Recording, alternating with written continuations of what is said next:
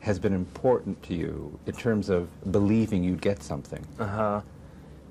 Yeah, I'm not sure what your question Well, is. no, it- there was no, question just an Oh, observation oh, because when you yeah. read something wild the character and the Ray, character was yeah. Ray and you thought, that's a good omen. Uh-huh. That's a good omen. Yeah. Did you and Kevin Costner have rehearsal time?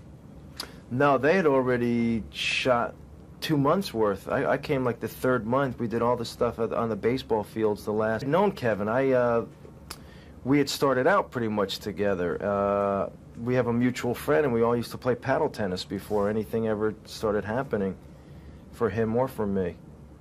Um, so I had known Kevin before, so you know that made it easier. When I think of your theater credits and what you were doing as an undergraduate and afterwards, there must have been a particular pleasure for you. Did you have a chance to sit with James Earl Jones, discuss theater? Was there any time with him?